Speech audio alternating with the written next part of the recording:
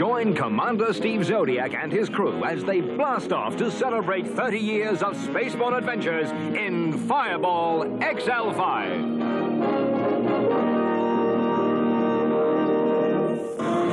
Zodiac is the pilot of Fireball XL5. That's right. His appearance is impeccable.